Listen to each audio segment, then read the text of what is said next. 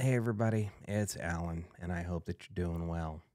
January 19th, 2006, the world lost the great soul singer, Mr. Wilson Pickett. Let's celebrate his life and legacy by listening to the song I Found a Love. And we're going to listen to part one and two together. So, I Found a Love, part one and part two by the great Wilson Pickett, passed away on this day in 2006. You know, I've always felt that everybody needs somebody to love.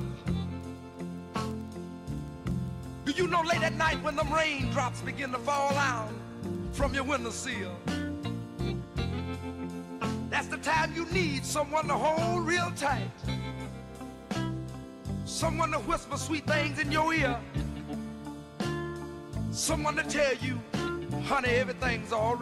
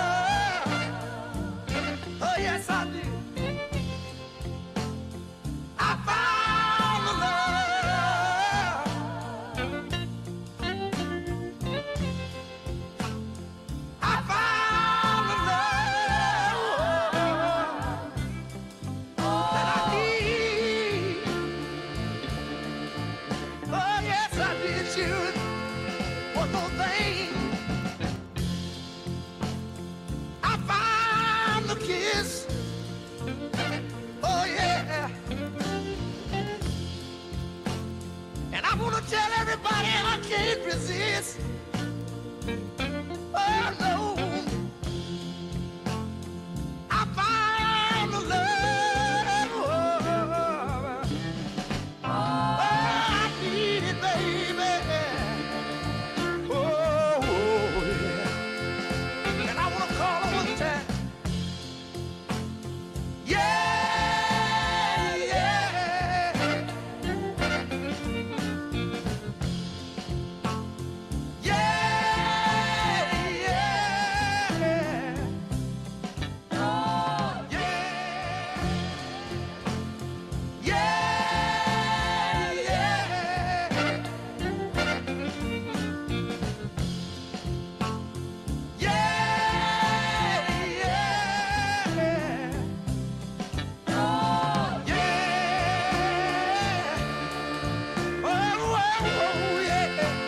One more thing. Let me tell you this. When a woman walk, mm, she set my little soul on fire. The way she talk, she my heart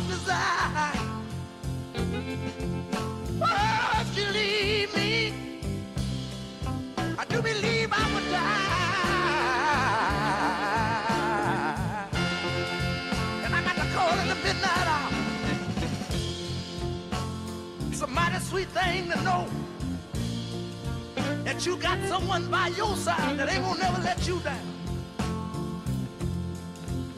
And when all your friends done turn their back on you, she'll be right there by your side. To walk with you, to talk with you. Let me tell you one more time.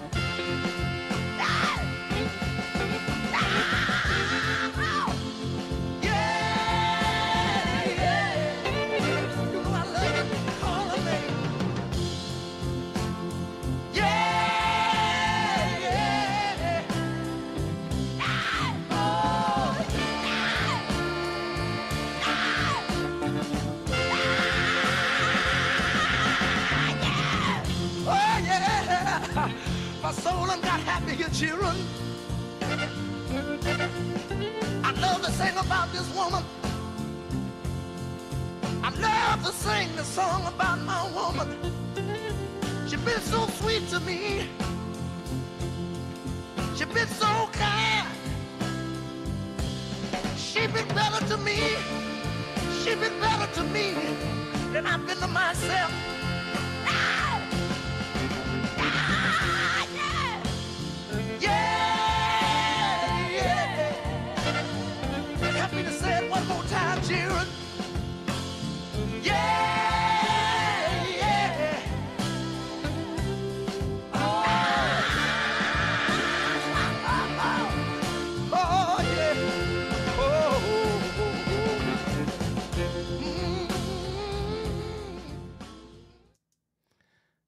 So as I'm listening to that this particular time, I'm thinking to myself, God, this must be really interesting if you're listening to it through headphones, which I am not right now. Because the way the song is recorded, it's so, so, so hard panned left and right. You know, you got the drums, bass, and and guitar in one speaker.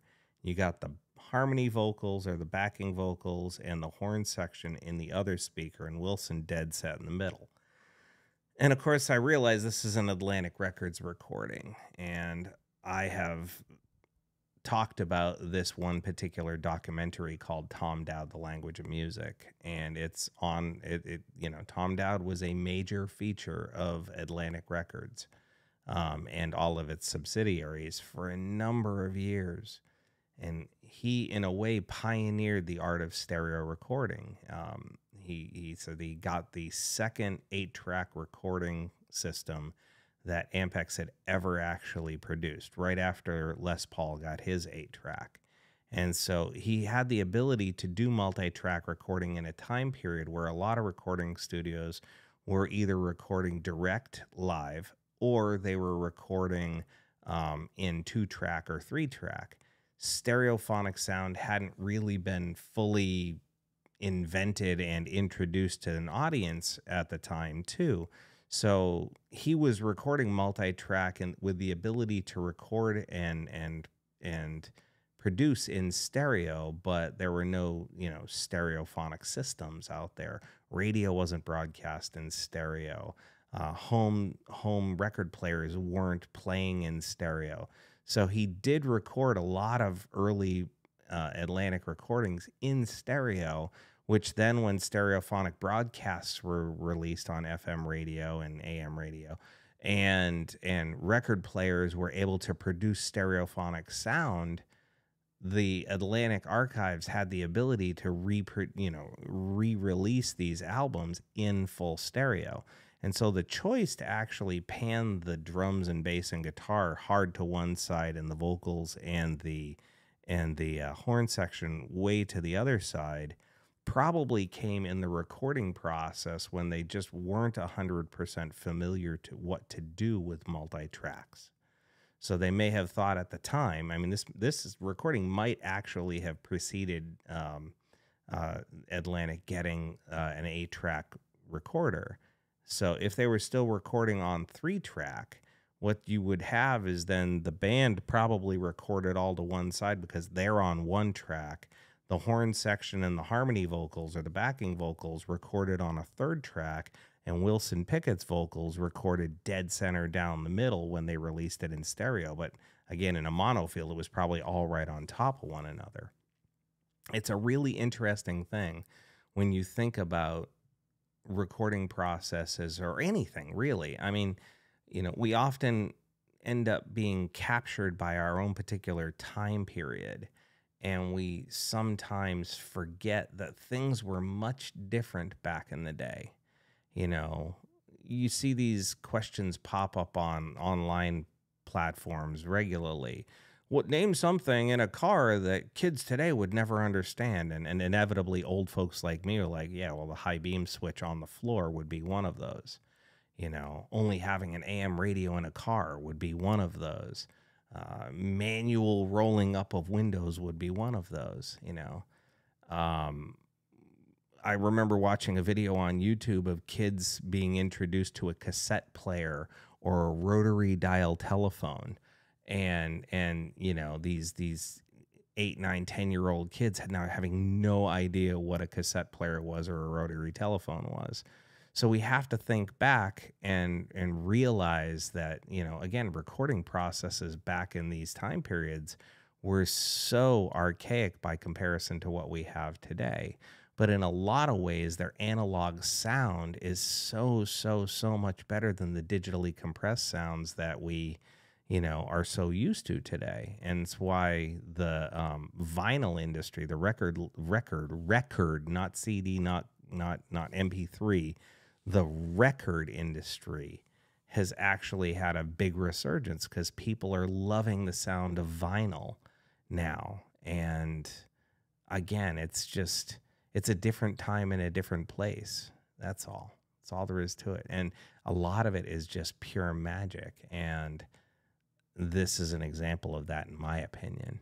Um, so we pay tribute to the memory of Wilson Pickett, but I think in this particular conversation, he we should be thanking him for more than just his music because it's got me thinking anyway about you know the the old school way of recording and how much better a lot of records sounded back in the day by comparison to the way they're produced today. With that said, hope you enjoyed this. Please feel free to leave a comment in the comment section below. We can talk about it further. Just know that I appreciate you and I wish you well. Take care.